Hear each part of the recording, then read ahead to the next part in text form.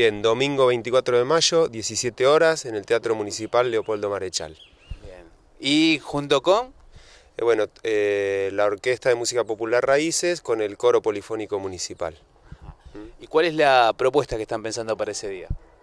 Bueno, compartir un concierto, siempre es bueno compartir eh, música por el hecho de conocer a otra gente, por el hecho de que te escucha otro público también, y estres- eh, qué es lo que hace la música, estresar eh, lazos, ¿no? Estrechar lazos, eso lo quise decir. Este, y bueno, la orquesta nace en el año 2007 y ya tiene esos niños, hoy son jóvenes que están multiplicando el proyecto, ya jóvenes de 20 años, así que tenemos dos orquestas, la de jóvenes y la de niños.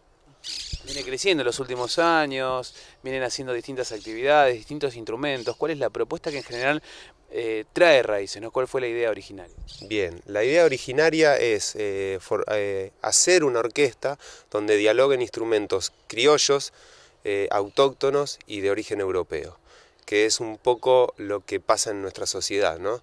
Esta, est- esta como es, acuarela de razas o de, de poblaciones que, que están todos en un mismo sitio, que es el Gran Buenos Aires. ¿Mm? Y con respecto a grabación, disco.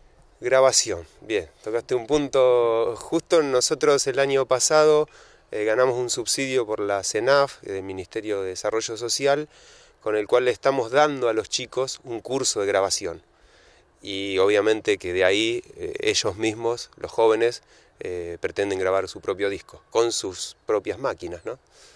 Este, así que bueno, eso está haciendo los sábados, todos los sábados le estamos dando un curso a los- a los jóvenes de grabación. Con respecto a Raíces, dos cositas más. El, digo, ha crecido mucho en este tiempo, ¿no? Como, como orquesta, como grupo. ¿Cómo lo sentís vos?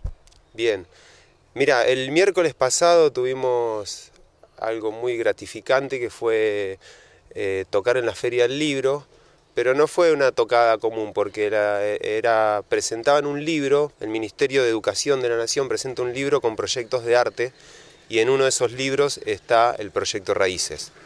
Eh, en la presentación del libro había gente de todo el país y bueno, cuando me llamaron para tocar, yo digo, eh, para ir a presenciar, dije, nosotros queremos tocar. Y bueno, pudimos tocar tres temas en la presentación del libro donde cuentan nuestro proyecto. Además de eso, eh, Raíces tiene dos sedes. Vos me decías lo que creció en estos últimos años. Bueno, eh, nació aquí, en el Conservatorio de Buenos Aires, y hoy tiene una sede en la Escuela Rural 5.